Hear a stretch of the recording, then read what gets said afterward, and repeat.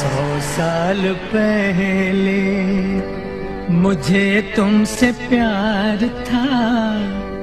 आज भी है और कल भी रहेगा। इंडियन सिनेमा को 100 साल पूरे हो चुके हैं और ministry of information and broadcasting इसे सेलिब्रेट कर रहा है सिरी फोर्ट ऑडिटोरियम में। विमेन एम्पावरमेंट को लेकर बहुत सारी मूवीज़ बनी हैं और वाकई में ये मानना पड़ेगा कि फिल्म्स ने विमेन को बहुत ज़्यादा एम्पावर किया है। और आज ऐसी ही एक पावरफुल शख्सियत हमारे साथ हैं जो कि है Pankaja Thakur CEO of Central Board of Film Certification आइए उनसे बात करते हैं। मैम, जहाँ बात आती है विमेन एम्पावरमेंट की I think one of the best example is you how people take care of this thing कि इमोशंस भी हर्ट ना हो? बट हम जो दिखाना चाहते हैं वो भी दिखा दें। कुछ ऐसे सीन्स होते हैं आप नहीं दिखा सकते तो वहाँ पे सेंसर बोर्ड किस तरह से डिसीज़न लेता है? मुझे लगता है कि अगर उस तरीके से एक सेंसिटिव वे में और राइट इमोशन इवोक करने के लिए बनाई जाए फ़िल्म तो उसमें सी को आ, कोई भी प्रॉब्लम नहीं है। किसी भी किसी जो देखने वाले ऑडियंस उनको भी कोई प्रॉब्लम नहीं होती है। हमारी कोशिश यही होती है, एक तो intention of the film maker जो बहुत क्लियर हो जाता है कि कैमरा के जो एंगल्स होते हैं कैमरा कहाँ जा रहा है, उससे पता चलता है कि फ़िल्म मेकर कोई कोई बात कहना चाह रहा है या मेयर टिटुलेशन के लिए यूज़ कर रहा है।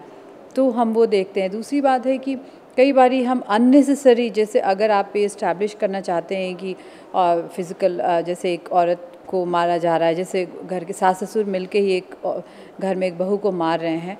तो ठीक है but it should not be कि छः सात मिनट तक वो तरह तरीके से उसको मार रहे हैं और ये। तो वी वी डू एंड ऐसा भी नहीं कि हम एकदम काट देते हैं but we do ask the film maker कि आप क्या कहना चाहते हैं। कि अगर इसको आप दो मिनट में कह सकते हैं तो प्लीज़ इसको करें।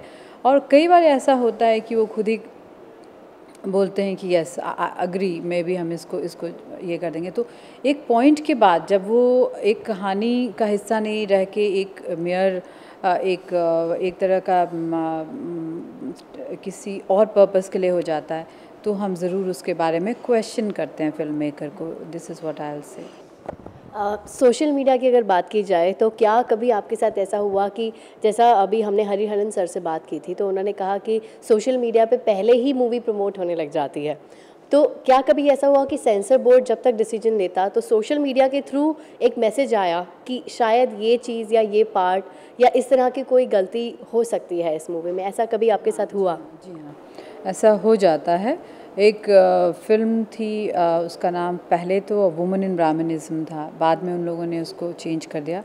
तो उन्होंने यूट्यूब पे उसका कुछ प्रोमो डाला था तो हमें उसकी पहले फ़िल्म आने के, हमारे पास आने के पहले ही शिकायतें आनी शुरू हो गई कि उसमें एक पर्टिकुलर कम्युनिटी को बैड लाइट में दिखाया गया है और डेलिब्रेट वे में दिखाया गया है। तो हमें कई बार ऐसा होता है कि कोई चीज़ यूट्यूब पे डाली जाती है और फिर लोग देखते हैं और वहाँ से हमारे पास शिकायतें आने लगती हैं कि वो, आप प्लीज़ केयरफुल रहें, ये इसमें ऐसा हो रहा है। बट कई बार ये होता है कि कुछ लोग खुद ही शुरू कर देते हैं just because they want to generate some buzz around you know the film तो खुद ही लिख देते हैं कि ऐसी चीज़ें हो रही है। But then we we understand it's just part of the तो ये थी हमारे साथ पंकजा ठाकुर, जिनका कहना है कि कभी कभार सोशल मीडिया इतना हेल्पफुल प्रूफ होता है कि कुछ बहुत बड़ी बड़ी गलतियाँ होने से पहले ही वो हमें उनसे बचा लेते हैं।